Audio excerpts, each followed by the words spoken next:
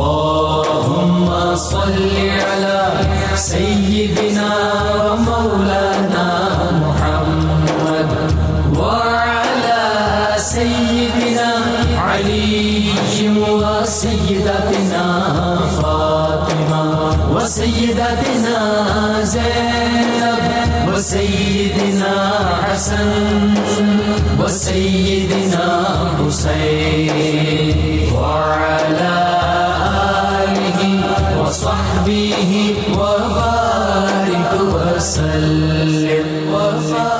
الحمد اللہ رب العالمین والصلاة والسلام علی سید الانبیاء والمرسلین. اللہم صلی علی سیدنا و مولانا محمد وعلی آلہ وصحابہ وبارک وسلم وصلی علیہ دنیا کے تمام دیکھنے والوں کو، تمام چاہنے والوں کو، تمام پیار کرنے والوں کو، اور جہاں جہاں تک اس وقت میری آواز کو سنا اور مجھے دیکھا جا رہا ہے، جنید اقبال کی جانب سے انتہائی محبت کے ساتھ، السلام علیکم۔ ایک بار پھر ناظرین، آپ کو پر نور صبح میں، صبح نور کے ساتھ میں دل کی گہرائیوں سے خوش آمدید کہتا ہوں۔ اور آئیے بلا توقف چلتے ہیں۔ حضرت ابو انیس محمد برکت علی علیہ رحمہ کی تعریف اسماء النبی کریم صلی اللہ علیہ وآلہ وسلم سے، رسول اللہ صلی اللہ علیہ وآلہ وسلم کا ایک اسم مبارک، پڑھنے اور سننے کی سعادت حاصل کرتے ہیں۔ سیدنا العالم صلی اللہ علیہ وآلہ وسلم۔ ہمارے سردار تمام علوم کے پیکر درود و سلام بھیجے اللہ آپ صلی اللہ علیہ وآلہ وسلم پر، آپ صلی اللہ علیہ وآلہ وسلم کے اہل پاک پر اور صحابہ کرام رضوان اللہ تعالیٰ علیہم اجمعین پر۔ حضرت عبداللہ ابن عمر رضی اللہ تعالیٰ عنہ سے روایت ہے کہ رسول کریم صلی اللہ علیہ وآلہ وسلم نے ارشاد فرمایا کہ تدبر اور غور و فکر کے بغیر تلاوت میں کوئی بھلائی نہیں ہے۔ نہ ہی دین میں سمجھ بوجھ کے بغیر کوئی عبادت ہے۔ اور فرمایا کہ دین کو سمجھنے کی ایک مجلس ساٹھ سال کی عبادت سے بہتر ہے۔ ناظرین کرام، ہمارے ساتھ آپ رہیے اور بالکل جڑے رہیے، کیونکہ آج انتہائی متبرک پتھر یعنی جنت کے پتھر حجر اسود پہ انشاءاللہ گفتگو ہوگی اور اس کی تاریخ آپ کو بتلائیں گے انشاءاللہ۔ ناظرین کرام، دنیا کے کسی بھی ملک سے، کسی بھی خطے سے، کسی بھی علاقے سے جب ایک مسلمان بڑی توجہ آپ کو رہے۔ جب ایک مسلمان اپنے گناہوں کے بوجھ کو اپنے کاندھوں پر اٹھا کر آجزی کا پیکر بن کے بن کے دبے لچے قدموں کے ساتھ مسجد حرام میں حاضری دیتا ہے، جہاں ارمانوں کا، تمناؤں کا اور خواہشات کا ایک سمندر اس کی سوچوں میں روا ہوتا ہے۔ اور سب سے پہلے بیت اللہ کی زیارت کرنے کا وہ مشتاق ہوتا ہے۔ بیت اللہ پر پہلی نگاہ ڈالتے ہی یہ دعائیں اس کی زبان سے ادا ہوتی ہیں، جو جو وہ سوچ کے آتا ہے۔ بیت اللہ کے پر نگاہ پڑنے کے بعد ناظرین، اس کی خیال میں یہ بات ہوتی ہے، اس کی ذوق میں یہ بات ہوتی ہے کہ طواف کعبہ کرنا ہے۔ اب میزاب رحمت کے سائے میں اللہ کی بارگاہ میں گڑ گڑانا ہے۔ رکن یمانی پر ستر ہزار فرشتوں کی آمین میں دعا کے لیے ہاتھوں کو اٹھانا ہے۔ مقام ابراہیم کو سجدگاہ بنانا ہے۔ زمزم سے فیضیاب ہونا ہے اور صفا و مروہ کی صحیح کی سنت کو اپنانا ہے۔ وہیں ہر مسلمان کی یہ چاہ بھی ہوتی ہے کہ جنت کے یاقوت، جنت کے موتی، جنت کے پتھر یعنی حجر اسود کی زیارت کرنی ہے۔ اسے چھونا ہے ہے، اسے بوسے دینا ہے اور اپنے گناہوں کی میل کو دھونا ہے۔ یہ وہی حجر نازین جسے امام المحدین حضرت ابراہیم علیہ السلام نے اپنے دست مبارک سے نصب کیا، جو آغاز طواف کی علامت بنا۔ جنت کے اس پتھر کا مقام و مرتبہ وہ ہے ناظرین کہ اس کو چھونا، اس کو چومنا، گناہوں سے پاکی کا سبب بنا۔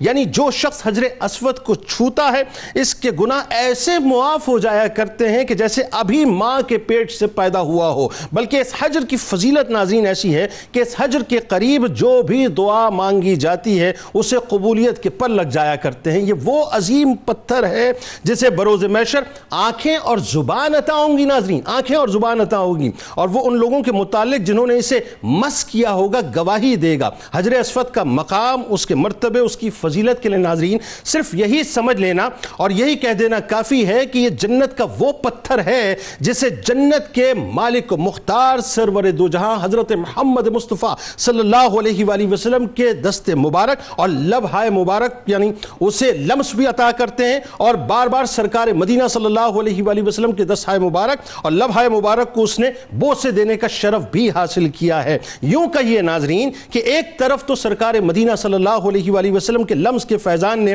حجر اسود کو رہتی دنیا تک غلاموں اور عاشقوں کی عقیدت کا مرکز بنا دیا اور دوسری طرف خود اس حجر کو جلنے اور ڈوبنے سے بھی مکمل طور پر محفوظ کر دیا اور نہ صرف یہ ناظرین کہ حجر اسود کو محفوظ کر دیا، بلکہ اب جو مسلمان جنت کے اس پتھر کو چھو لے گا، اللہ تبارک و تعالیٰ اسے بھی گناہوں سے پاک کر دے گا اور جو حجر اسود کے قریب کھڑے ہو کر دعا مانگ لے گا، اللہ تبارک و تعالیٰ اس کی دعاؤں کو بھی قبولیت کی سند دے کر محفوظ کر لے گا۔ ناظرین کرام حجر اسود قدرت کا ایک ایسا عظیم شاہکار ہے کہ روایات میں آتا ہے کہ خانہ کعبہ کو طوفانوں اور سیلابوں کی وجہ سے سے کئی مرتبہ نقصان پہنچا اور اس پر کئی مرتبہ دشمنوں نے حملے بھی کیے۔ کئی مرتبہ اسے توڑا گیا، جلایا گیا، کئی مرتبہ اس کی تعمیر ہوئی، پورا پورا اسٹرکچر تباہ ہوا۔ یہاں تک کہ حجر اسود کو توڑا گیا، اسے خانہ کعبہ سے جدا کیا گیا۔ یہاں تک ہوا ناظرین کہ تین سو سترہ ہجری میں کرامتی حرم پاک میں کچھ تو خون کا بازار گرم کرتے ہیں۔ خانہ کعبہ سے اسے نکال کر اپنے ساتھ لے جاتے ہیں، مگر وہ کہتے ہیں نا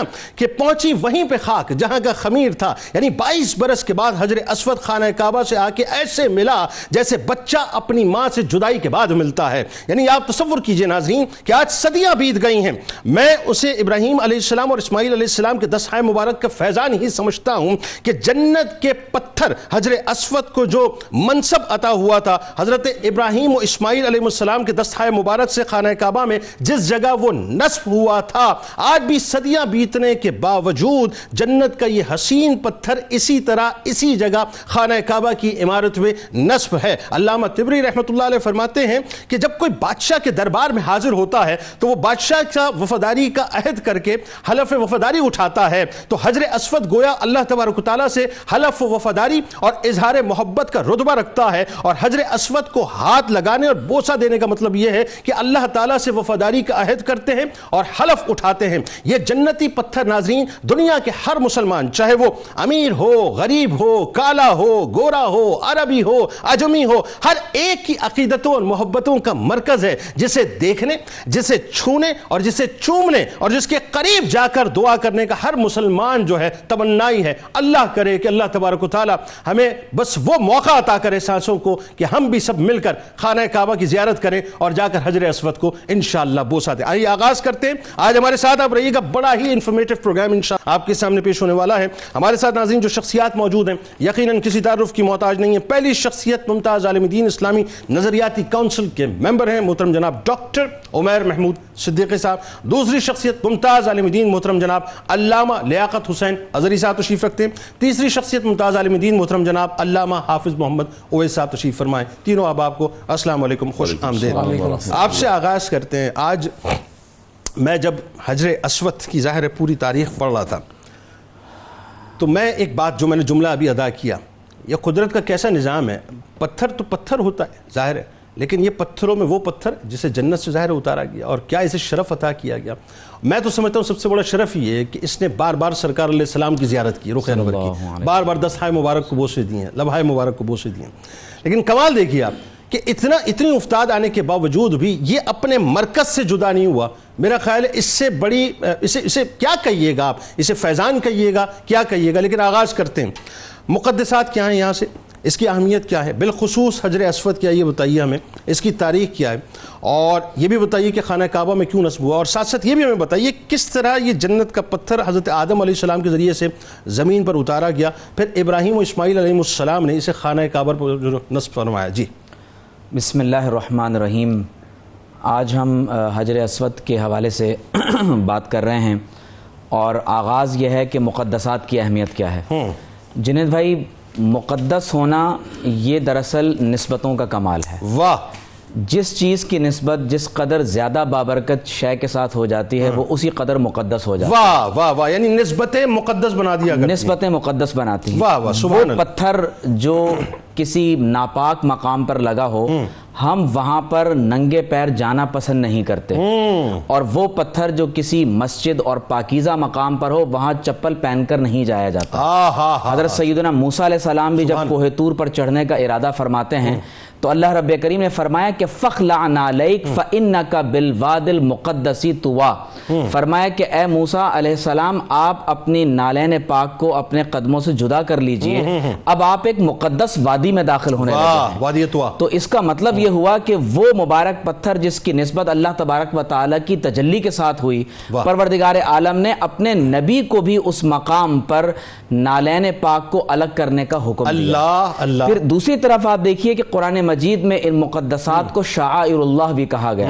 شاعر شاعرہ کی جمع ہے جس کے معنی ہوتے ہیں نشانی۔ ٹھیک ہے۔ تو اللہ رب کریم نے فرمایا وَمَن يُعَظِّمْ شَعَائِرَ اللَّهِ فَإِنَّهَا مِن تَقْوَى الْقُلُوبِ فرمایا کہ جو کوئی اللہ تبارک و تعالیٰ کی نشانیوں کی تعظیم کرے گا۔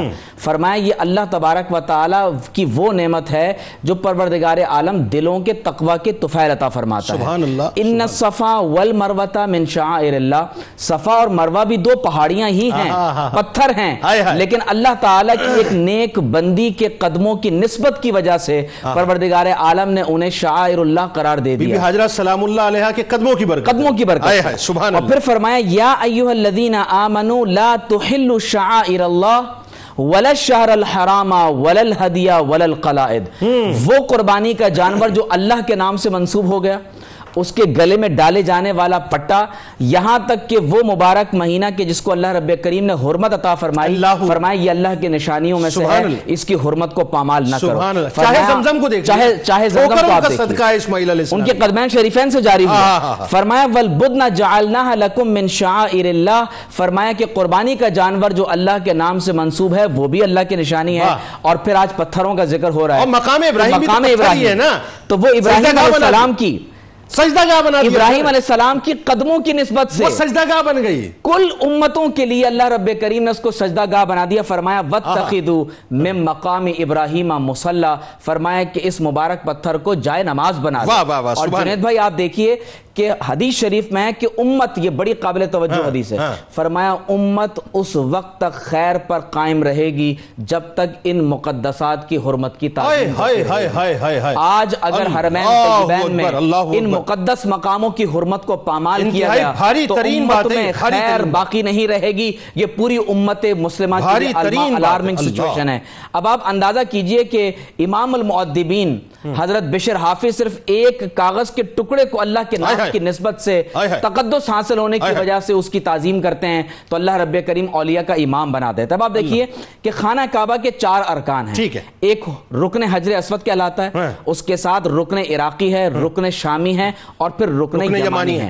ان چاروں ارکان میں سے ایک رکن جہاں سیاہ پتھر حجر اسود منسوب کیا گیا اسے حجر اسود کا رکن کہتے ہیں اسی حدیث میں الرکن المقام الحجر الحجر الاسود یاقوت من یواقیت الجنہ یہ کلمات ہیں جو ہاں۔ اس حجر اسود کا نام لیا یعنی جاتا ہے جنت کا یاقوت۔ جنت کا یاقوت ہے۔ اور سفید کا یاقوت۔ سائز سفید ہاں، یاقوت۔ اس کا سائز تقریباً ایک فٹ ہے سیاہ۔ اور سرخی مائل پتھر ہے اس کے گرد ایک چاندی کا حلقہ بنا ہوا ہے اور یعنی حج بیت اللہ میں اور عمرہ کرنے میں اس کی جو حیثیت ہے وہ مناسک کے حج اور مناسک کے عمرہ میں سے کچھ یوں ہیں کہ مسلمان اس کو چوم کر یا اس کا استسلام کے ساتھ اس کی طرف اشارہ کر کے اپنی چھڑی سے یا اپنے ہاتھ سے اس کو بوسہ دینے کے بعد یہاں سے خانہ کعبہ کے طواف کا آغاز آغاز۔ یہاں ہے حضرت۔ ابراہیم علیہ السلام کے ساتھ اس پتھر کو زمین پر اتارا گیا پھر حضرت آدم علیہ السلام۔ جی حضرت آدم علیہ السلام اور جب حضرت آدم علیہ السلام نے باقاعدہ یعنی جب یہ ان کے ساتھ زمین پر نازل کیا گیا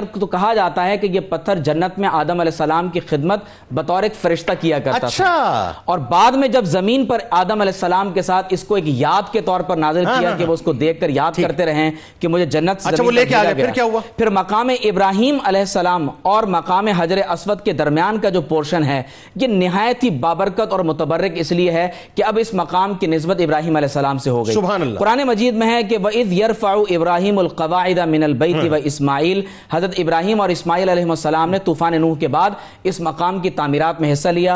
طوفان نوح کے وقت اس کو جبل ابو قبیس میں محفوظ کر دیا گیا۔ ابراہیم علیہ السلام نے اپنے بیٹے سے فرمایا کہ ہاں۔ میرے بیٹے ایک ایسی علامت تلاش کرو بطور پتھر ہاں۔ کہ ہم اس کو یہاں پر نصب کر دیں اور یہ یہاں سے نقطہ آغاز بن جائے کہ لوگ یہاں سے ہاں، خانہ یعنی کعبہ کا آغاز کریں۔ اس مقام کو جب یہاں نصب کر دیا گیا۔ اس پتھر کو یہاں لگا دیا۔ گیا تو اب قیامت تک کے لیے یہ اہل امت کے لیے امت مسلمہ کے لیے نقطہ آغاز ہے اللہ رب کریم کی بارگاہ میں عبادت میں اسے پھر علامہ صاحب دست فیضان ابراہیم و اسماعیل علیہ السلام بس دست ہائے فیضان ابراہیم و اسماعیل علیہ السلام کیوں نہ کہوں کہ آپ نے جو اس پتھر کو حجر اسود کو نصف فرمایا، آپ دیکھیے کہ صدیاں بیت گئیں، ہزاروں سال بیت گئے۔ کیا کچھ ہوا؟ طوفان حوادث آئے سب کچھ ہوا، لیکن یہ اپنی جگہ موجود ہے۔ اچھا اب ذرا یہ بتائیے، ایک واقعہ بڑا حسینہ بھی بالکل ربط بن گیا ہے وہ، کہ جہاں پہ میرے خیال ہے تصوری تصور میں آپ ہمیں وہاں لے چلیں، کہ سرکار علیہ السلام کی ظاہری عمر مبارک پینتیس برس ہے۔ سیلاب نے خانہ کعبہ کی عمارت کو شدید نقصان پہنچا دیا اور پھر خانہ کعبہ کی ظاہر تعمیر ہوتی ہے۔ اب ایک رفٹ پیدا ہوتی ہے جہاں قتل و غارت گیری کی بات آ جاتی ہے حضر اسود کو نصب کرنے کی بات ہے۔ ذرا اس واقعے کے بارے میں بتائیے اور اس کے بعد اس واقعے کے بعد ہی حبیرہ یا حبیرہ بن وحب مغزومی شاعر جو ہیں انہوں نے ایک قصیدہ بھی کہا تھا۔ وہ کیا تھا ذرا بتائیے۔ بسم اللہ الرحمن الرحیم۔ مقدسات کا ذکر کیا گیا اور بڑی بنیادی چیز یہ ہے کہ رب کائنات نے خود قرآن مجید فرقان حمید جن آیات طیبات کی تلاوت کی گئی مقدسات کا ذکر کیا گیا۔ یہ اس لیے کہ امت کے دل کے اندر ان کی محبت پیدا ہو۔ بقیت مما ترک آل موسیٰ و آل ہارون تحملہ الملائکہ۔ وہ جو موسیٰ علیہ السلام اور ان کے آل کے جو مقدسات تھے ان کو اللہ کے فرشتے اٹھا کے لا رہے تھے۔ اللہ۔ حضرت یوسف علیہ السلام کے والد گرامی حضرت یعقوب علیہ السلام کی قمیص کو اللہ تعالیٰ نے اتنی برکت عطا فرمائی۔ اللہ۔ تو مسلم بات ہے کہ مقدسات ایک ایسی چیز ہے کہ جس کا تعلق رکھنے کے لیے قرآن مجید فرقان حمید نے خود اس کا ذکر کیا ہے۔ پھر تابوت سکینہ کو اٹھا لیں۔ تابوت سکینہ کے ذکر کر رہا ہوں میں۔ اور یہ دیکھ لیجیے آپ کہ انہی میں سے مقدسات میں سے مقام ابراہیم ہے اور ایک حجر اسود ہے۔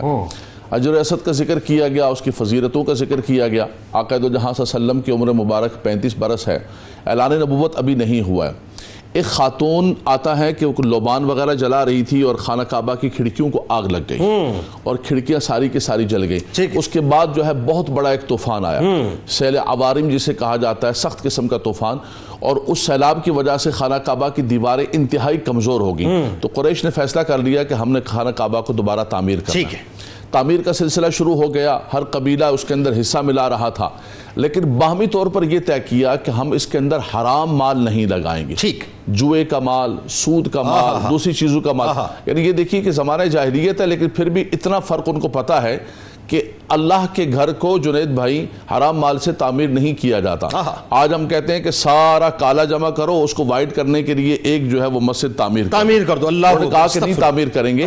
اللہ کے گھر کو ہم پاکیزہ مال سے تعمیر کریں گے اور یہی وجہ ہوئی کہ یہ جو حتیم کعبہ ہے پیسے نہ ہونے کی وجہ سے یہ حتیم خانہ کعبہ کا حصہ تھا۔ اور اس کو باہر رکھا گیا ان کے پاس مال حلال نہیں تھا اور چھت اس پر یہ مکمل نہ ہو ٹھیک۔ مکمل نہیں ہو سکا۔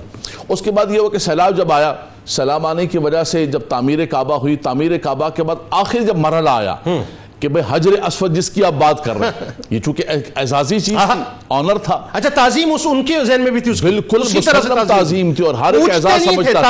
بالکل ہر ایک سمجھتا تھا کہ یہ ہمارے لیے اعزاز ہوگا ہمارے قبیلے کے لیے اعزاز ہوگا کہ ہم جو ہے حجر اسود کو نصب کریں۔ اب جنگ و جدال کی طرف تلواریں نکلنے پڑی اور لڑائی جھگڑا فساد ہونے لگا کہ کون نصب کرے گا؟ میرا خاندان میرا قبیلہ نصب کرے گا۔ اس کے بعد آخر کے اندر تک میں انگلیاں ڈبو کے خون میں نا کہ وہ فیصلے کیے تھے کچھ اس طرح کی بات بھی کچھ ہوئی تھی۔ بس انہوں نے یہی کہا کہ ہم جو ہے ہر صورت کے اندر کریں گے۔ آخر کے اندر یہ فیصلہ کیا گیا۔ ایک سمجھدار آدمی نے یہ کہا کہ بھائی لڑو نہیں قتل و قتال کی طرف نہیں جاؤ۔ صبح کے وقت جو سب سے پہلے شخص داخل۔ ہوگا خانہ کعبہ کے اندر۔ فرمایا کہ وہی ہمارا عادل ہوگا اور اسی کو ہم اپنا حکم بنائیں گے۔ اب ڈیوائن ڈیسیجن جو ہے وہ ایکٹیو ہونے والا ہے۔ بالکل۔ اور اس کے بعد صبح کے وقت جو ہے آقا دو جہاں صلی اللہ تعالیٰ علیہ وسلم کی تشریف آوری ہوئی۔ اس کو میں اشعار کی صورت کے اندر آپ نے- بتائیے، بتائیے، جو کہ ذکر فرما۔ دیا ہے تو حبیرہ بن وہب مخزومی نے جو ہے اشعار کہے اس نے کہا تشاجرت الاحیاء فی فضل خطہ جرت بینہم بالنحس من بعد اسعدی۔ کہا کہ جب قبیلوں کے درمیان اس کام کے اندر اس فضیلت کے اندر تنصیب کے اندر جو ہے ایک اختلاف پیدا ہو گیا اور جھگڑا ہونے لگا اور ان کے اندر جو اللہ نے سعادت دی تھی اس سعادت کے بعد نحس و نحوست پیدا ہونے لگی۔ لڑنے لگے آپس میں۔ طلاقو بہا بالبغض بعد مودت و اوقد نارم بینہم شر موقدی۔ اور فرمایا کہ آپس میں محبت اور مودت پیدا ہونے کے بعد جو ہے وہ ایک طوفان اور فساد کی آگ بڑکنے لگی۔ فلما رأینا الامر قد جد جدہ۔ فرمایا جب معاملہ بہت بڑھ گیا ولم یبق شیء غیر سل المہندی اور تلواریں نکلنے کے سوا کوئی بھی راستہ راستہ نہیں بچا۔ ہائے ہائے تو ہائے۔ آخر کے اندر فیصلہ کیا گیا کہ ردینا وقلنا العدل اول طالع۔ یجیء من البطھاء من غیر موقت۔ آؤ فیصلہ کرتے ہیں اور اس کو عادل اور اپنا حاکم حاکم بناتے ہیں جو صبح کے وقت سب سے پہلے جو خانہ کعبہ کے اندر داخل ہوگا۔ اللہ اکبر۔ العدل اول طالع جو سب سے پہلا آئے گا۔ کہاں سے آئے گا؟ یجیء من ہائے۔ فرمایا کہ اس مقام سے باب صفا سے داخل ہوگا۔ ففا جاءنا هذا الامین محمد۔ فقلنا رضینا بالامین محمدی اللہ اچانک اچانک ہم نے کیا دیکھا کہ محمد آ گئے جو کہ اللہ اللہ اللہ سبحان اور اللہ۔ سب نے کہا کہ ہم راضی ہیں۔ اور ہم کہتے ہیں کہ جو یہ فیصلہ کریں گے یہ ہمارے حق میں میرے رونگٹے کھڑے ہو گئے قربان۔ قربان جائیے میرے آقا صلی اللہ علیہ وسلم کی دور اندشی پر۔ حضور علیہ صاحب السلام کو اللہ تبارک و تعالیٰ نے ابھی اعلان نبوت نہیں ہوا۔ آقا دو جہاں صلی اللہ علیہ وسلم نے تمام سرداروں کو جمع کیا۔ فرمایا حلم الصوب فرمایا کپڑا دو اپنی چادر مبارک دو۔ حضور علیہ صاحب السلام نے اس چادر کے اندر۔ حجر اسود کو رکھا اس کے کونے تمام سرداروں کو پکڑائے۔ اعزاز و اکرام کے ساتھ عزت کے ساتھ لے کر جا رہے۔ جب وہاں پر پہنچے تو آقا دو جہاں صلی اللہ علیہ وسلم نے اپنے دست کریم سے حجر اسود کو یہ اعزاز بخشا ہاں ہاں ہاں جو سبحان آپ فرما رہے تھے کہ کیا وجہ ہے کیا علت کیا ہے۔ آقا دو جہاں صلی اللہ علیہ وسلم کے مبارک ہاتھ لگے اور حجر اسود کو وہاں نصب کیا گیا۔ حضور کے لب بھی لگے حضور کے ہاتھ بھی لگے جس کی برکتیں آج تک ہیں۔ تبھی سیدنا عمر فاروق نے فرمایا ما قبلتو کا لاولا قبلک رسول اللہ اگر حضور کے لب نہ لگتے تو عمر بھی کبھی نہ ایک چومتا جملہ عرض کروں میں آپ کی بات سے آ گیا آپ ہی کا فیضان ہے۔ اور آپ ہی کی نظر کر رہا ہوں۔ یہ کیا ماجرا تھا کہ یہ اتنی رفٹ ہو گئی سب کچھ ہو گیا اور فیصلہ نہیں ہو پا رہا۔ ڈیوائن ظاہر فیصلہ تو ہے قدرت کی طرف سے ہے لیکن میں یہ بات سمجھتا ہوں یہ حجر اسود لمس کو پہچانتا ہے۔ جس جد نے لگایا تھا وہ لمس اسی لمس سے لگنا تھا جس لمس کو اللہ تبارک و تعالیٰ نے مصطفیٰ کریم صلی اللہ علیہ وسلم سبحان نے اللہ۔ حضرت ابراہیم علیہ السلام سے منتقل کیا تھا۔ تو کیسے ممکن ہوتا کہ لمس ابراہیم علیہ السلام کا ملا اور کسی اور کے ہاتھ سے لگ جائے؟ جن کا لمس ہے انہی کی ہاتھ لگائے گی۔ اللہ صاحب ذرا یہ بتائیے۔ ایک اب اب جو اس میں ایک بڑی خاص بات ہے وہ یہ کہ اس کا مقام اور مرتبے کو کسی اور نے نہیں سرکار علیہ السلام نے اپنی فرامین کی روشنی میں واضح کیا ہے۔ اور پھر آپ دیکھیے اہل بیت اطہار کو آپ لے لیں یا آپ صحابہ کرام کو اٹھا لیں۔ یعنی ہر ایک نے اس حجر کی انتہائی تکریم کی ہے۔ فضائل بتائیے ذرا۔ بسم اللہ الرحمن الرحیم۔ جی یقیناً جنید بھائی بڑا خوبصورتی کے ساتھ حجر اسود کی فضیلت اور اس کے مقام کو اور اس کی تاریخ کو ہم دیکھ رہے ہیں، سمجھ رہے ہیں۔ اور دیکھیں پتھروں کے جو ماہرین ہیں نا، کوئی پتھر اٹھا کے کہتے ہیں جی ایک لاکھ سال پرانا ہے۔ دو لاکھ سال پرانا ہے۔ اس کو اٹھا کے میوزیم میں رکھ کیا اچھی بات آپ کر رہے ہیں۔ اس کو اٹھا کے میوزیم میں سجا دو۔ لیکن اس پتھر پہ قربان جائیں کہ جس کا شجرہ نصب جا کے جنت کے ٹیلوں سے ملتا۔ اللہ اکبر۔ یعنی جس کے بارے میں آپ یہ بتا ہی نہیں سکتے کہ کتنا پرانا ہے۔ اس کا شجرہ نصب جنت۔ کے ٹیلوں سے ملتا ہے اور میرے رب نے اسے اٹھا کے بیت اللہ میں نصب کر دیا اس کو کسی میوزیم کی ضرورت نہیں ہے۔ یہ بیت اللہ کے دل میں ہے۔ اور مقام یہ ہے بیت اللہ کا قلب بنا دیا ہاں بیت اللہ کا کل بنا دیا اور اتنی عزت اور اتنی فضیلت طواف شروع کرو گے تو حجر اسود سے شروع کرو گے اور رکو گے تو حجر اسود ہاں۔ طواف ختم ہوگا تو حجر اسود پہ ختم ہوگا۔ اور بوسا دے سکتے ہو تو بوسا دو۔ اگر بوسا نہیں دے سکتے تو سلامیاں پیش کرو۔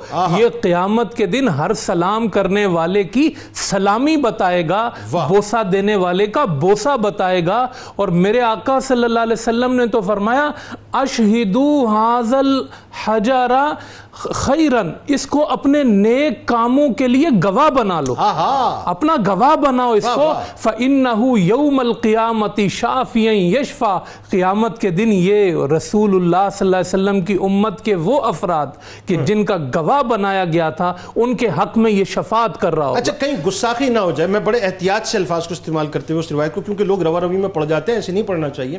اللہ تعالیٰ اپنی شان کے مطابق یعنی ایک روایت میں پڑھا تھا کہ جب آپ اس کو بوسا دیتے ہیں یا اپنا ہاتھ لگاتے ہیں تو اپنی شان کے مطابق جو ہے وہ اپنا ہاتھ ملاتا ہے اپنی شان کے مطابق۔ جی، جی، بالکل۔ بتائیے کیا معاملہ کیا ہے؟ یہ پیارے آقا صلی اللہ علیہ وسلم نے ارشاد فرمایا من فاودہو۔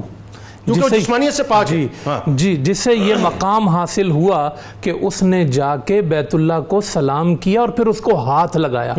جس نے حجر اسود کو ہاتھ لگایا فَإِنَّمَا يُفَاوِدُ يَدَ الرَّحْمَانِ۔ یہ مقام ایسا ہے کہ جیسے اس نے رحمان کے ہاتھ میں ہاتھ دے دیا۔ یعنی وہ اس کی شان کے مطابق اس کی شان سے کے ہے۔ مطابق۔ ٹھیک۔ جیسے ہے نا آپ سجدہ کرتے ہیں تو رحمان کے قدموں میں سجدہ ہاں، کرتے ہاں، ہیں ہاں۔ وہ قرب بتانا مقصود ہے اور یہاں پر بھی قرب بتانا مقصود جسم ہے۔ مقصود نہیں ہے۔ ہاں جسم مقصود نہیں ہے۔ یہ بتانا مقصود ہے کہ اسے ہاتھ لگانے والا خدا کے کتنے قریب ہو جاتا اچھا ہے۔ وہ تو بتائیے کہ بروز محشر اسے آنکھیں دی جائیں گی زبان دی جائے گی وہ کیا ہے وہ؟ پیارے آقا صلی اللہ علیہ وسلم نے فرمایا لہو اینانی یبصر بہما۔ اس کی دو آنکھیں ہیں۔ یہ دیکھ رہا ہوتا ہے سب اچھا۔ کو تم یہ سمجھتے ہو کہ تم حجر اسود کو دیکھ رہے ہو۔ نانا حجر اسود بھی تمہیں دیکھ رہا ہے۔ وَلِسَانُ يَنْتِقُ بِهَا اللہ اس کو زبان عطا فرمائے گا۔ یہ اس کے ذریعے بات بھی کرے گا یا اللہ یہ میرے پاس آیا تھا۔ یہ عزت سے آیا تھا۔ یہ غفلت سے آیا تھا۔ ہر ایک کی کیفیت کو بھی بتائے گا۔ یہ کس کس کیفیت کے ساتھ میرے ساتھ۔ آئے۔ گا۔ اور ہر ایک کے حق میں گواہی دے رہا ہوگا۔ اور پھر اس کا منظر آپ اچھا اس کا دیکھیں۔ منظر ایک ایک جملہ ایک جملہ قطع کلام یہی وجہ ہے کہ ہشام بن عبد الملک کو پہچان کے بھی نہ پہچانا۔ اور امام زین العابدین علیہ السلام کی طرف لپکنے کی کوشش کی۔ امام زین العابدین رضی اللہ تعالیٰ عنہ کی طرف لپکنے کی کوشش کی، بلکہ امام تو کسی معاملے میں فیصلہ کرانا ہوتا تھا نا کسی کو کہتے تھے آؤ تمہارا میرا فیصلہ حجر اسود کر دے گا۔ اللہ اللہ اللہ۔ حجر اسود کے پاس پہنچے تو جب امام کی گواہی دینی ہوتی تھی تو کہا جیسے سینے سے دھڑک کے دل باہر آتا ہے نا ایسے یہ دھڑک کر امام کی طرف لپکتا ہاں۔ اکبر، تو یہ پہچانتا ہے یہ محمد عربی کو پہچانتا ہے ایک بات امام زین بہت ضروری ہے کیونکہ فضیلتیں بیان ہو رہی ہیں یقیناً اور آگے بات ہوگی۔ لیکن ایک بڑی اہم ترین باتیں میں چاہتا ہوں دو جملوں میں آپ ضرور بتائیے۔ ایک جب میں غفیر ہوتا ہے جب ماشاءاللہ لوگ طواف کر رہے ہوتے ہیں۔ اب اتنی اتنے فضائل سننے کے بعد ہر شخص یہ چاہتا ہے کہ بس کسی طرح سے میں بوسا دے دوں اور اس میں بھیڑ بھاڑ کو نہیں دیکھتے ایک دوسرے کو آگے پیچھے کرتے ہیں۔ یا کرنا کیا؟ یہ درست ہے ایک بات۔ اس میں لوگوں کو گرا بھی دیتے ہیں زیادتی بھی کرتے ہیں۔ دوسرے جو خواتین اب جب مردوں کا اتنا اجرام ہوتا ہے تو کجا اس کے خواتین کیسے جائیں گی؟ تو خواتین کو کیا کرنا چاہیے؟ اس جی بالکل آپ دیکھیں اخلاقی اقدار میں اسلام میں ایک تو قدر یہ ہے کہ آپ کسی کو نفع پہنچائیں۔ اس سے بھی پہلا اسٹیپ یہ ہے کہ آپ کسی کو نفع نہیں دے سکتے تو کم از کم کسی کو اذیت نہ دیں۔ آپ کسی کے پاس جو سو رہا ہو بیٹھ کے تلاوت نہیں کر سکتے۔ ٹھیک ہے۔ اور یہ مقام ہے کہ آپ اگر وہاں بیت اللہ میں موجود ہوں تو بھیڑ کا اندازہ لگائیں۔ اور بھیڑ کا اندازہ لگا کر پھر اس کی طرف بڑھیں۔ آپ کے کسی کو دھکے نہ لگیں کسی کو کوہنی نہ لگے۔ خواتین کے پردے کا خیال رہے اور پھر اس کے ساتھ آپ اس کو بوسا دیں۔ اور میں اس اور اگر موقع نہ ملے بوسے کا موقع نہ ملے تو آپ دور سے جا رہے ہیں پیارے ہم جینے مرنے کا مسئلہ بنا لیتے ہیں ایسا لگتا ہے کہ ہمارا عمرہ اور حج ہوا ہی نہیں حضور علیہ السلام نے استلام کیا اپنی ہاں۔ چھڑی سے اشارہ کیا ٹھیک ہے، چھڑی سے استلام کیا چھڑی سے استلام کیا اپنے ہاتھ سے استلام کیا تو آپ دور سے کھڑے ہوں وہ آپ کو دیکھ رہا ہے آپ کا استلام دیکھ رہا ہے یعنی آپ کا جب طواف ہے۔ کرتے ہوئے آپ اگر نہیں جا سکتے تو آپ یوں ہاتھ کر کے استلام کر۔ لیں ہاں، ہاں۔ اور یہ اس حدیث پر اپنی بات ختم کروں گا کہ حضرت عمر نے ایک مرتبہ اس کو بوسا دی ہائے ہائے۔ اور بوسا دینے کے بعد پھر اس پہ اپنی پیشانی رکھ کے سجدہ کیا اللہ اور پھر کہنے لگے اس پر سجدہ کرتے ہوئے میں نے اپنے رسول کو دیکھا ہے۔ اللہ۔ تو مستحب یہ ہے کہ جسے موقع نصیب ہو وہ اس کا بوسا بھی لے اور بوسا لینے کے بعد اپنی پیشانی رکھ کے اپنے رب کو سجدہ بھی کرے۔ محبت والے جملے بھی کہہ دیجیے نا کہ تو ایک پتھر ہے۔ جی۔ بتائیے نا ذرا حضرت جی عمر کہا کرتے تھے کہ تو ایک پتھر ہے نفع و ضرر کا مالک نہیں ہے۔ تجھے اس لیے چومتا ہوں کہ میرے مصطفیٰ نے اللہ اکبر۔ تو پھر وہاں پر سجدہ کرنے سے۔ میرا وجدان یہ کہتا ہے۔ کہ حضور کی اللہ سے محبت ایسی تھی۔ کہ حضور کہتے تھے زمین میسر ہو تو خدا کو سجدہ کرو۔ اور جنت کا پتھر میسر ہو تو خدا کو سبحان اللہ اور خواتین کو احتیاط کرنی چاہیے پردے کا خاص خیال رکھا جائے یعنی دور رہیں اور دور۔ سے استلام کر لیں زیادہ بہتر بالکل ٹھیک ہے ناظرین ہمارے ساتھ رہیں بڑی خوبصورت منزل پہ آ گئے ہیں اور انشاءاللہ چونکہ ظاہر سرکار علیہ السلام کا تذکرہ پاک ہے، یہ سب کچھ سرکار علیہ السلام کا صدقہ ہے ناظرین، یہ جنت کا پتھر کیا ہے؟ یہ بھی تو میرے سرکار علیہ السلام کا صدقہ ہے نا؟ اور اس جنت کے پتھر کو ہم اتنا کیوں چاہتے ہیں؟ اس لیے چاہتے ہیں کہ اسے لمس مصطفیٰ صلی اللہ علیہ وآلہ وسلم عطا ہوا ہے۔ ہمارے نزدیک تو ناظرین اس پتھر کی اہمیت ہی کچھ اور ہے، اس کی حیثیت ہی کچھ اور ہے، اس کا مقام ہی کچھ اور ہے۔ سرکار کی بارگاہ میں درود پاک کا نذرانہ پیش کر کے جب لوٹیں گے انشاءاللہ ناظرین، پھر آپ کو تھوڑی سی تلخ تاریخ بتائیں گے جو خانہ کعبہ کے اوپر بیتی ہے، جو حضرت اسود پہ بیتی ہے۔ اور پھر بائیس برس تک جو ایک جدائی کا سفر ہے بائیس برس تک ناظرین، خانہ کعبہ سے حجر اسود جدا رہا ہے۔ وہ کیسے رہا ہے وہ آپ کو بتائیں گے۔ درود پاک۔ اللہم صلی علی سیدنا و مولانا محمد وعلا سیدنا علی و سیدتنا فاطمہ و سیدتنا زینب و سیدنا حسن وسيدنا حسين وعلى آله وصحبه وبارك وسلم وبارك. اللهم صل على سيدنا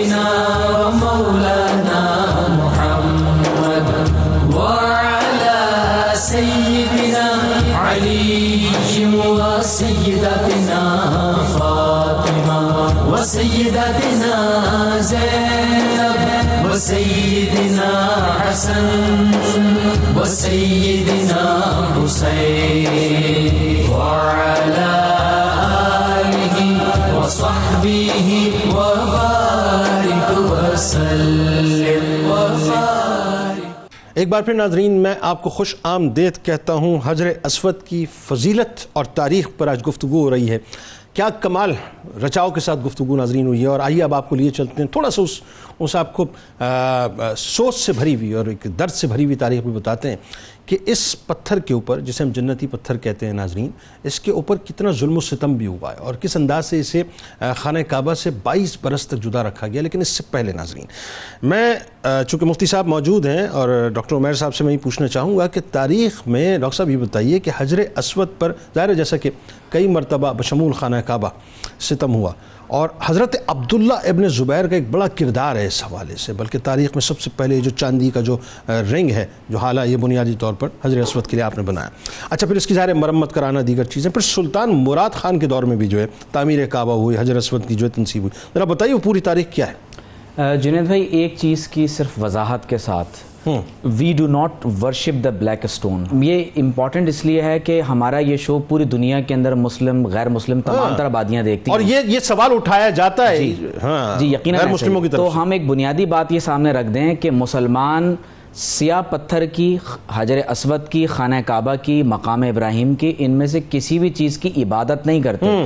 بلکہ ہمارے لیے یہ اس لیے لائق تعظیم اور عزت ہے کہ اس کی نسبت اللہ تعالیٰ کے جلیل القدر انبیاء یا انبیاء کرام علیہ السلام کے اہل بیت آل اطہار کے ساتھ ہو گئی یہ بالکل اس طرح کی بات ہے جیسے یہودی تابوت سکینہ میں موجود تبرکات سے ایک نسبت رکھتے ہیں کیونکہ موسیٰ علیہ السلام ہارون جی علیہ السلام یقیناً سلیمان علیہ السلام۔ یقیناً ایسے ہی ہے کہ Exactly جو ہمارا بھی ہمارا بھی۔ ہمارا بھی ایک اٹیچمنٹ ہے جی لیکن اس میں بالخصوص جو ہمارے ہاں وہ لوگ جو یعنی آئیڈل ورشپ کی طرف جاتے ہیں ان کا رجحان عام طور پر یہ ہوتا ہے کہ شاید مسلمان بھی بلیک اسٹون کی ناؤز باللہ عبادت کریں ٹھیک ہے تو حدیث میں اس کی وضاحت کر دی گئی کہ یہ اپنی ذات میں نہ نفع دیتا ہے نہ نقصان دیتا ہے لیکن قیامت کے دن ہاں۔ حدیث میں ہے کہ آپ صلی اللہ علیہ وسلم نے فرمایا کہ اس کی دو آنکھیں بھی ہوں گی اس کی زبان بھی ہوگی۔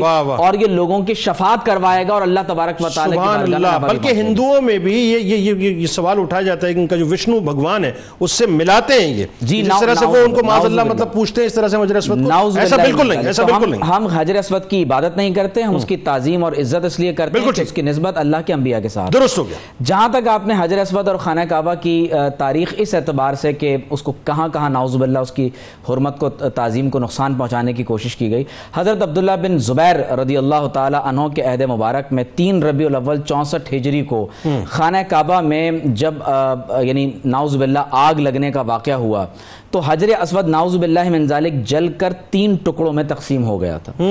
اور یہ جو تین ٹکڑوں میں باقاعدہ ناؤز باللہ من ذالک حجر اسود تقسیم ہوا تو ظاہر ہے کہ اس کے بعد ابھی میں آگے بھی بیان کروں گا کہ اب جو حجر اسود ہمارے سامنے موجود ہے یہ تقریباً چودہ ٹکڑوں کے اندر موجود ہے۔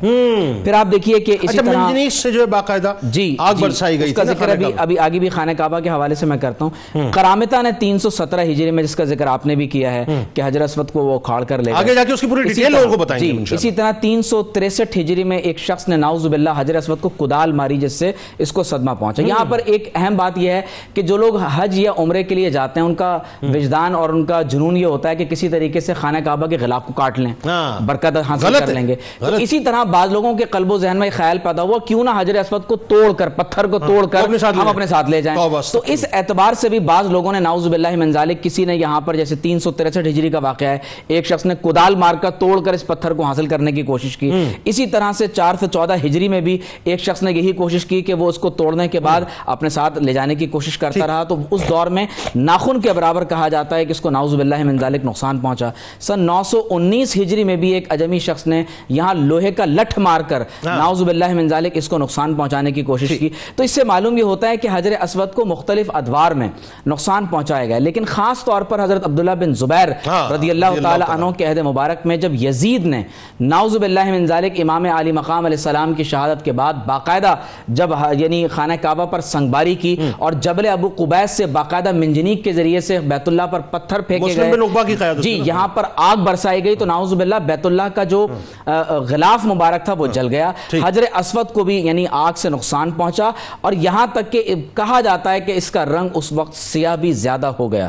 اور حضرت عبداللہ بن زبیر رضی اللہ تعالی عنہ نے اس وقت پہلی مرتبہ حجر اسود کی صفائی ستھرائی اور اس کی محبت کے ساتھ اہتمام کرتے ہوئے اس کے گرد چاندی کا باقاعدہ ایک حلقہ تعمیر کروایا اور یہ جو تاریخ ہے یہ سن چونسٹھ ہجری کے واقعے کے اعتبار سے اس کو رپورٹ اور کیا یہی جاتا ہے وہ موقع ہے جہاں پہ چاندی کا ہلکا بھی بنا اور یہی جی۔ وہ موقع ہے کہ پہلے چمڑے کا غلاف ہوتا تھا آپ نے ریشم کا جی جی اس آپ نے باقاعدہ غلاف چڑھانے کا بھی یہاں پر اہتمام کیا اور چاندی کا ایک حلقہ بھی یہاں پر بنا دیا۔ اسی طرح ہم دیکھتے ہیں کہ ہمارے ہاں خلافت راشدہ کے دور سے چلتے چلتے لے کر بالآخر جب سلطنت عثمانیہ کے دور تک ہاں۔ بات آتی ہے تو معلوم یہ ہوتا ہے کہ خصوصی طور پر حضرت ابراہیم علیہ السلام کے صاحبزادے اسماعیل علیہ السلام کی کا جو ننیال ہے ننیال ہے قبیلہ جرہم ان کا بھی ہاں۔ بہت بڑا کردار رہا ہے لیکن جب بالخصوص ہم دیکھتے ہیں کہ حضرت عبداللہ بن زبیر رضی اللہ تعالیٰ عنہ کے بعد سلطان مراد خان جو سلطنت عثمانیہ کے ایک عظیم یعنی ایک حکمران گزرے جی۔ ہیں آپ کے عہد میں سن یعنی ایک ہزار ہجری کے قریب کا دور یہ ہے کہ جس میں باقاعدہ خانہ کعبہ میں سیلاب آیا اور کہا جاتا ہے کہ اس قدر شدید طوفان تھا کہ تقریباً ہزار کے لگ بھگ یہاں پر حجاج کرام اور جو عمرہ کرنے والے افراد تھے وہ اس سیلاب کے اندر شہید ہو گئے اور نتیجتاً خانہ کعبہ کی دیوار کو نقصان پہنچا غلاف کو نقصان پہنچا اس کا شازروان مقام ابراہیم ان۔ مقدسات کو نقصان پہنچا یعنی یہ شعبان سے لے کے دس۔ رمضان تک یہ جی، معاملہ رہا تقریباً یعنی ایک طویل یعنی ایک ماہ کا ایک ماہ۔ کا جو عرصہ جو ہے وہ اس میں گزر گیا تو حضرت سلطان مراد خان کو جب اس کی باقاعدہ اطلاع پہنچی تو آپ نے سولہ ربیع الثانی کو سن ایک ہزار چالیس ہجری میں باقاعدہ اس کی تعمیر کا سلسلہ شروع کیا اور تقریباً یعنی کئی ماہ تک یہ کام جاری رہا اور آپ نے دوبارہ حجر اسود کو اس کے مقام سے کیونکہ وہ یعنی اپنے مقام پر موجود اس انداز سے نہ رہا تو آپ نے اس کی تنصیب کا عمل دوبارہ مکمل بڑی فرمایا مشکلوں سے تنصیب اس کی جی۔ اور اس کے بعد چاندی کا جو حلقہ تھا وہ اس کے گرد دوبارہ جب وہ بہتر انداز سے لگایا کہ اور اب ہم یہ دیکھتے ہیں کہ حجاز مقدس میں جو خادم الحرمین الشریفین ہیں وہ باقاعدہ ہر سال اس کی تزئین و آرائش کے لیے اپنی۔ خدمات کو سر انجام دے رہے ہیں۔ اور تاحال آپ کو اگر وہ وہ اگر آپ کو وہ حلقات دیکھنے ہوں تو جو مارد ہے خانہ کعبہ کا جو میوزیم مکہ مکرمہ میں بنا ہوا آج بھی آپ جا کر دیکھیے ان مقدس مقامات کی اس قدر خوبصورت انداز سے اس وقت یعنی حجاز مقدس میں اس کی تعظیم کی جاتی ہے اس کا ادب کیا جاتا ہے اور خاص طور پر ان ان میوزیمز میں ان تمام تر حلقوں کو محفوظ رکھا گیا ہے تو ان. جگہوں کو ضرور اپنے سامنے پیش یعنی وہ پورے ایک جو ایک تاریخ تاریخ کو محفوظ کیا گیا محفوظ۔ کر دیا۔ بالکل ٹھیک ہے بات آگے بڑھاتے ہیں اس میں۔ علامہ صاحب اب ایک ایک اور بڑا درد سوز واقعہ اور ظاہر ہے اسی میں چونکہ چاہتا تھا کہ وہ پورا ایک واقعہ بڑا طویل ہے وہ الگ سے بیان ہونا چاہیے۔ کرامتہ سردار جو تھا ظاہر ہے اس نے ابو طاہر نے بیت اللہ پر چڑھائی کی۔ اور حجر اسود کو وہ اکھاڑ کر بحرین لے گیا۔ بائیس برس تک یہ حجر اسود جو ہے وہ جدا رہا ہے۔ خانہ کعبہ سے۔ اور ظاہر ہے اس کی میں میں چاہتا ہوں اس کے بارے میں آپ بتائیے، کیونکہ وہ جو اس کا ویژن تھا معاذ اللہ استغفر اللہ من ذالک مطلب اس کی سوچ یہ تھی۔ ویژن کیا تھا؟ سوچ یہ تھی اور گندی سوچ تھی، انتہائی گھٹیا سوچ تھی کہ وہ خانہ کعبہ کی طرف پہ جو ہے وہاں پہ تعمیر کرنا چاہتا تھا اور چاہتا تھا کہ لوگ وہاں پہ آ کے طواف کریں۔ وہ کیا ہوا تھا؟ جدا ہونا اور پھر پلٹنا، وہ ایک عشق کی بڑی بات ہے۔ بسم اللہ الرحمن الرحیم۔ بہت شکریہ جنید بھائی۔ جیسے کہ آپ نے ذکر کیا کرامتہ ایک ملحد اور بے دین فرقہ تھا اور ابو طاہر جو ہے وہ اس کا سردار تھا۔ اس نے اور بہت سارے کام کیے اور خاص طور پر آخر کے اندر حملہ کرتا کرتا وہ اس نے حرمین طیبین پہ حملہ کیا اور خاص حج کے دنوں کے اندر تین سو سترہ ہجری کے اندر اس نے خانہ کعبہ پر حملہ کر دیا اور خانہ کعبہ کے اندر جو ہے مسلمانوں کو احرام کی حالت میں کوئی عبادت کر رہا تھا کوئی تسبیح پڑھ رہا تھا تیس ہزار لوگ شہید کیے تیس ہزار کے قریب لوگ۔ اور چاہے زمزم جو ہے وہ خون سے بھر گیا اور لاشوں سے بھر گیا۔ اور مسلمانوں کو بے دردی کے ساتھ جو ہے وہ شہید کیا گیا اور وہ شراب پیتا رہا وہاں پہ کھڑے ہو کے۔ بالکل کھڑے ہو کے شراب پیتا رہا اور اللہ تبارک و تعالیٰ کی ذات کے حوالے سے بڑے غلط قسم کے الفاظ کہے کہ اللہ جو ہے وہ خلق کرتا ہے اور میں فنا کرتا ہوں معاذ اللہ اور میرا یہ کام ہے اور میں اس طرح طاقت رکھتا ہوں۔ بلکہ اس نے یہ دعویٰ بھی معاذ اللہ کیا تھا کہ اگر یہ اللہ کا گھر ہوتا تو اس وقت تک اللہ تعالیٰ عذاب نازل کر دیتا۔ بالکل اسی طرح میں یہاں پر کھڑا ہوں اور یہ سب کچھ کر رہا ہوں۔ اگر تم کہتے ہو اللہ کا گھر ہے تو مجھ پر عذاب آ جاتا۔ اس کے بعد اس ظالم نے سب کچھ کرنے کے بعد آخر کے اندر جو کام کیا وہ یہ کیا کہ حجر اسود کو کھیڑ کے لے گیا۔ اس کو پتا تھا کہ یہ مقناطیسی پتھر ہے۔ لوگ اس کی طرف کھچے ہوئے آتے ہیں۔ تو میں اس کو لے کر جاؤں گا بحرین کے اندر ہجر شہر کے اندر لے کے گیا وہاں دارالحجرہ اچھا بنایا۔ اس سے پہلے ایک اور چیز میزاب رحمت کو بھی نکالنے کی کوشش کی اس کے لوگوں نے؟ مزاب رحمت مقام مقام مقام ابراہیم ان تمام مقدسات کو جو ہے نا اس نے لے جانے کی کوشش کی لیکن لوگوں مقام نے ابراہیم کو تو چھپا دیا ابراہیم گیا کو تھا، چھپا ہاں، دیا محفوظ کر گیا دیا، ہاں۔ اور محفوظ کر لیا گیا۔ یہ حجر اسود کو لے کر چلا ٹھیک ہے۔ اور وہاں حجر شہر کے اندر دارالحجرہ بنایا اور وہاں پر رکھا اور لوگوں سے کہا کہ اب حج یہاں پر ہوا کرے گا۔ ہاں،۔ لوگوں کو ہر طرف سے دعوت دی کہ لوگ یہاں آئیں لیکن شاندار محل بنایا تھا۔ شاندار قسم کا محل۔ لیکن کوئی بھی شخص حج کرنے کے لیے نہیں گیا اور کوئی بھی اس کی طرف بائیس سال تک اس نے رکھا انتظار کرتا رہا۔ بائیس برس تک۔ بائیس برس تک اس نے حجر اسود کو خانہ کعبہ سے جدا رکھا اور اس دوران کئی بادشاہوں نے اس کو آفر کی کہ بھائی اتنے دراہیم لے لو، دینار لے لو اور اس کو واپس کر دو، لیکن وہ تیار نہیں ہوا۔ ضدی انسان تھا، ملحد تھا، بے دین قسم کا تھا، شدت پسند تھا۔ اس کے بعد اس نے اپنے جو سربراہ تھا اس کو پیغام بھیجا کہ میں نے یہ عظیم کام کیا۔ تو اس نے اس کے سرزنش کی کہ تو نے ایک تو خانہ کعبہ کے اندر جو ہے لوگوں کے قتل عام کیا اور حجر اسود دے کر آ گیا۔ اور اگر تو واپس نہیں کرے گا تو میں تیرے خلاف جو ہے نا لشکر نکالوں گا۔ تو اس اس وقت جو ہے اس نے حجر اسود واپس کیا۔ اور پہلے تو یہ کہنے لگا کہ بھائی وہ تو کہیں آگے پیچھے ہو گیا۔ جب مانگا گیا کہ بھائی دو دو بہت زیادہ شدت بڑھ گئی عالم اسلام کے اندر۔ اور عباسی خلفاء نے بھی کہا۔ پہلے کہنے لگا بھائی وہ پتھروں کے اندر کہیں مل گیا ہے۔ اور کوئی اور کہا کہ پتھروں کے اندر مل گیا تو ہم تمیز کر لیتے ہیں۔ بہت سارے پتھر تھے۔ کہا کہ حجر اسود کی تمیز یہ ہوگی کہ وہ جلے گا نہیں آہا وہ ڈوبے گا نہیں۔ اللہ۔ اور فرمایا کہ اس کی اپنی ایک کشش ہے۔ اس کے بعد باقاعدہ طور پر جو ہے حجر اسود کو لایا گیا اور لا کر دوبارہ خانہ کعبہ اچھا کے اندر دو باتیں۔ تنصیب کی کہا یہ جاتا ہے اور روایات میں ہم پڑھتے ہیں کہ جن اونٹنیوں پر اس کو سوار کر کے جب بحرین لے جایا جا رہا تھا تو کئی اونٹنیاں راستے میں ہلاک ہو گئی اور جب اسے واپس لایا جا رہا تھا تو اونٹنی جو ہے وہ اتنی تیز رفتاری سے دوڑتی تھی کہ اندازہ نہیں ہو سکتا تھا کہ اتنی تیز رفتاری سے کیسے دوڑتی ہے۔ بالکل یعنی جیسے- ماں اور بچے والی بات ہے وہ اس جیسے آپ نے فرمایا کہ ہر چیز جیسے کل شین یرجو الى اصل ہی ہاں۔ اس کا جو مقام تھا اس کا جو اصل تھا مقناطیس کی طرح وہ کھچتا ہوا اپنے اصل کے اندر آ کر وہیں پر قرار پاتا ہے اور وہیں پر اس کو سکون آتا ہے۔ آپ یہ دیکھیے کہ ہر چیز کو لے جانے کی کوشش کی لیکن اس کو پتا تھا کہ لوگوں کے دلوں کے اندر اس کی محبت و تعظیم ہے ہاں۔ لوگ اسے پیار کرتے ہیں اس کو لے کے جاؤں گا تو سب لوگ بحرین کے اندر آ کر جو ہے وہ حج کریں گے اس لیے اس پتھر کو اس رکن کو جو ہے بڑی اہمیت اور بڑی فضیلت حاصل ہے اور جتنا تاریخ کا ذکر کیا گیا کہ ہر زمانے کے اندر کوئی نہ کوئی آ کر وہاں اس کے ساتھ زیادتی کرتا رہا کسی نے ہتھوڑے مارے کس کو توڑنے کی کوشش کرتا رہا لیکن آج تک بحمد اللہ تبارک و تعالی وہ جنتی پتھر وہاں پر موجود ہے اور لوگوں کے گناہوں کو کھینچ کھینچ کر وہ ابیت سے اسود ہو چکا ہے اللہ اللہ تبارک و تعالی ہمیں بھی اس کا بوسہ لینے کی۔ تقبیل کی یا۔ استلام کی رب تبارک و تعالی آمین آمین کیا۔ خوبصورت بات ہے جی آخر میں اب یہ سوال ہر ایک کے ذہن میں ہوگا اور میرا خیال ہے اس وقت کامنلی لوگ یہ سوچ رہے ہوں گے کہ ابھی تک وہ بات نہیں بتائی، وہ میں نے بالکل آخر کے لیے سوچ کے رکھی تھی کہ آپ سے پوچھوں گا۔ جیسا کہ ابتدا میں بات ہوئی کہ یہ سفید رنگ کا یاقوت یا سفید رنگ کا موتی ہے جو جنت سے اتارا گیا۔ اچھا اب بات یہ کہ اس کا رنگ سیاہ کیسے ہو گیا؟ اسے حجر اسود کیوں کہا جاتا ہے؟ دوسرا یہ کہ میں جب پڑھ رہا تھا تو اس میں میں نے ایک اور بات دیکھی کہ جو عیسائی مورخین ہیں یا جو غیر مسلم مورخین ہیں، انہوں نے اسے شہاب ثاقب بھی کہا ہے، لاوا بھی کہا ہے، مختلف قسم کی توجیحات پیش کی ہیں۔ لیکن ہمارا عقیدہ بڑا ہے اس بارے میں۔ ذرا یہ بتائیے کہ غیر مسلموں کا جو عقیدہ ہے، حجر اسود کے حوالے سے کیا ہے؟ اور پھر حجر اسود ظاہر ہمارے لیے فائنلی ہمیں یہ بھی بتائیے گا آخر میں کہ جب بھی ہم عمرے پہ جائیں، حج پہ جائیں، تو ہمیں کس انداز سے اب حجر اسود کی تعظیم کرنی چاہیے؟ بسم اللہ الرحمن الرحیم۔ حضور علیہ السلام نے ارشاد فرمایا کہ ان الحجر والمقام یاقوتتان من الجن۔ کہ مقام ابراہیم کا پتھر اور حجر اسود جو یہ پتھر ہے یہ دونوں جنت کے یاقوت ہیں۔ اور فرمایا اشد بیادم من اللبن۔ جب یہ آئے تھے نا تو دودھ سے زیادہ سفید تھے۔ سودت ہو خطایا بنی آدم۔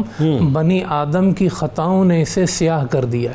اس مقام پہ علماء نے یہ بات بھی لکھی کہ دیکھو تمہارے گناہوں سے جنت کا پتھر سیاہ ہو گیا اللہ تو اندر دل کا عالم کیا ہوگا؟ اللہ اللہ اللہ یہ اللہ دل کتنا اللہ سیاہ ہو سکتا ہے۔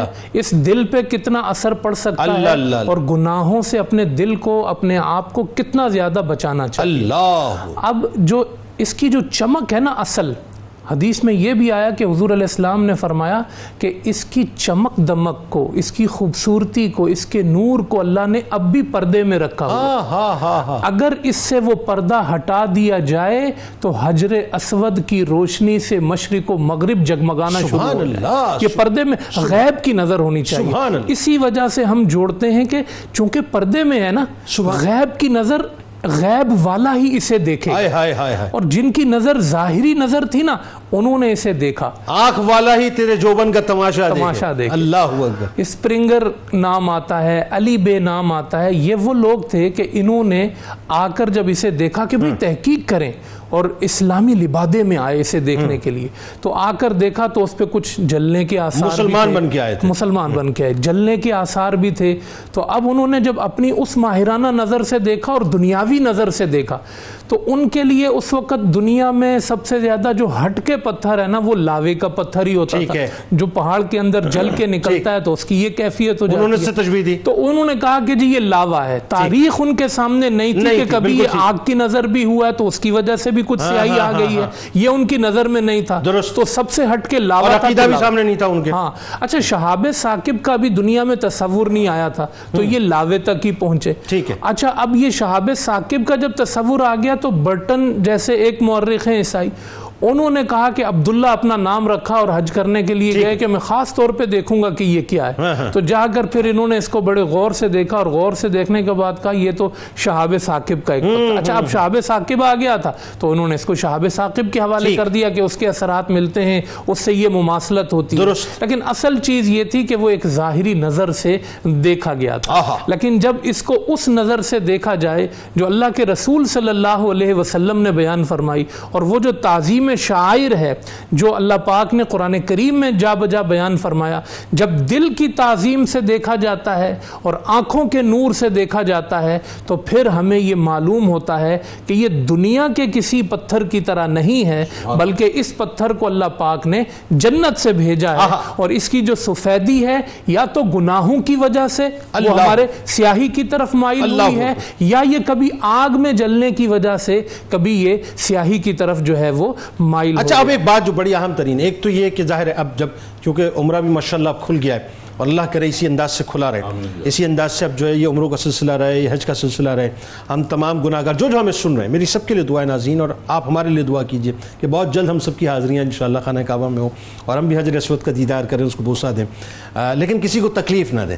اچھا اب جب ہم حجر اسود کو اب دیکھیں تو اب تعظیم کا اینگل کچھ اور ہونا چاہیے نا، گفتگو بھی بہت ہو چکی، لوگوں نے سن بھی لیے دوسرا، ایک اور بات خاص طور پہ یہ بتائیے کہ کل بروز محشر، یہ عقیدت مندوں کے ساتھ اپنے کیا کرے گا؟ یہ بڑی اہم ترین بات ہے، کیونکہ ظاہر ہے اس کو آنکھیں بھی دی جائیں گی، اس کو زبان بھی دی جائے گی۔ تو کل بروز محشر اس کا کیا کردار ہوگا؟ یہ بھی بتانا جی یقیناً۔ اب یہ دیکھیں کہ قرآن کریم کی وہ آیات طیبہ نا، جس میں لہووں اور لعیب کے الفاظ بہت زیادہ آتے ہیں۔ تو اس میں اس طرف اشارہ ہے کہ دنیا میں کھیل تماشے کا بڑا غلبہ ہے۔ ہاں۔ اور اللہ پاک سرزمین عرب اور سرزمین حجاز کو کھیل تماشوں سے محفوظ رکھے وہاں جانے والوں کی جو نگاہیں ہیں اس میں عقیدت بڑی لازم ہے۔ دل کی تعظیم بڑی لازم ہے۔ وہاں پر جائیں تو اس نظر سے جیسے میں نے پہلے بھی عرض کیا یہ نہیں کہ میں اسے دیکھ رہا ہوں یہ تمہیں دیکھ رہا ہے۔ آپ اسے کہہ سکتے ہیں یہ ایک خدائی کیمرہ ہے جو وہاں لگا ہوا ہے ہر حرکت کو محفوظ کر رہا ہے۔ ہر ایک کے دل کی کیفیت کو محفوظ کر رہا ہے۔ اور یہ صفت صرف حجر اسود کی نہیں ہے۔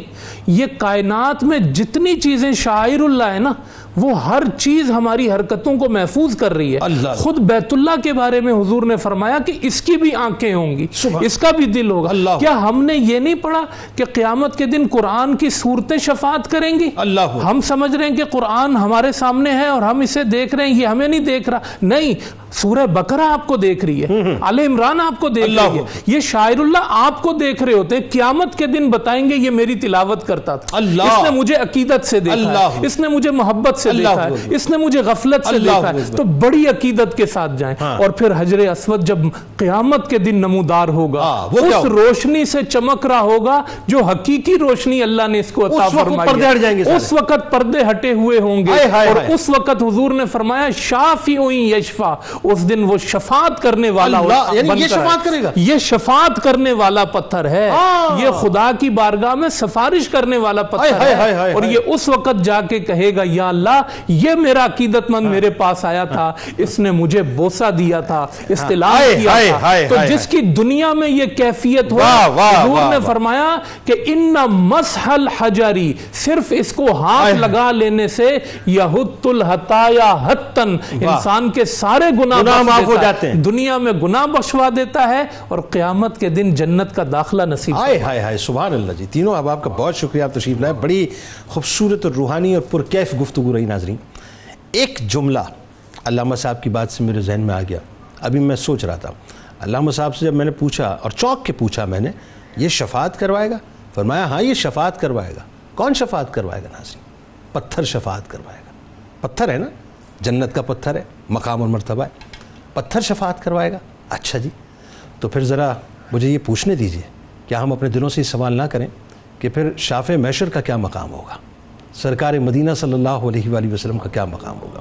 جب پتھر کو اللہ تعالیٰ نے یہ طاقت اور قوت عطا کر دی ہے، یہ طاقت اور قوت، بلکہ یوں کہیے کہ یہ وسعت عطا کر دی ہے، یہ جملہ مجھے ادا کرنے دیں صاحب کہ یہ تو گواہ ایک دو لوگوں پر نہیں ہے، یہ صرف جنید پہ، یہ مفتی عمیر صدیقی صاحب پہ، علامہ لیاقت صاحب پہ، علامہ اویس صاحب پہ، آپ دیکھنے والوں پر صرف گواہ نہیں ہے صاحب، کروڑوں مسلمان آئے، کروڑوں آ کے چلے جائیں گے۔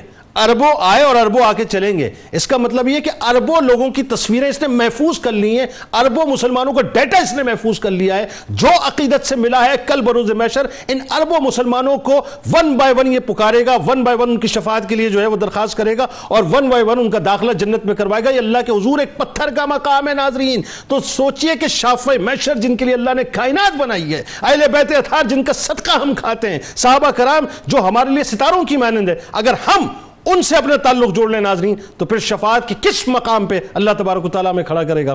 ہم سوچ نہیں سکتے۔ اوقات یہی ہے صاحب کہ سوچنا بند کر دیجیے، بس عشق کے سمندر کے اندر متزن ہو جائیے۔ کتاب و شفا نظر کی سلامتی کا عمل، جس شخص کی آنکھ سے پانی بہتا ہو، آنکھ کو کو کسی بڑے نقصان کا خطرہ ہو تو اللہ تبارک و تعالیٰ کا اسم گرامی یا بصیروں گیارہ سو بار پڑھ کر آنکھ پر دم کیا جائے، آنکھ ہر قسم کی تکلیف سے محفوظ ہو جائے گی۔ حضرت امام محمد غزالی علیہ رحمہ کا قول مبارک، کمال قول مبارک ہے کہ جتنی چاہے نمازیں پڑھو اور روزے رکھو، اس وقت تک فائدہ نہیں پا سکتے جب تک مال حرام سے پرہیز نہ کرو گے۔ روز نامہ نائنٹی ٹو نیوز میں آج مضمون ضرور پڑھیے گا۔ حجر اسود کی فضیلت اور تاریخ کے حوالے سے ٹویٹر پہ میں ضرور فالو کیجیے فیس بک پیج کو لائک کیجیے یوٹیوب چینل کو سبسکرائب کر کے بیل آئیکن کو ضرور کلک کر لیجیے گا۔ آپ وہاں موجود ہیں یہاں موجود ہیں۔ مل کے نعرہ لگائیں گے۔ آئیے تجدید عہد وفا کرتے ہیں۔ اس دعا، اس امید، اس یقین کے ساتھ کہ لا یؤمن احدکم حتی اکون احب الیہ من والدہ وولدہ والناس اجمعین۔ اللہ تعالیٰ آپ کا، ہمارا، ہم سب کا، پاکستان کا اور امت مسلمہ کا حامی و ناصر ہو۔ آمین۔ پاکستان کا مطلب کیا؟ لا الہ الا اللہ محمد رسول اللہ صلی اللہ علیہ وسلم۔ اللهم صل على سيدنا ومولانا سيدنا علي وسيدتنا فاطمة وسيدتنا زينب وسيدنا حسن وسيدنا حسين وعلى آله وصحبه وبارك وسلم.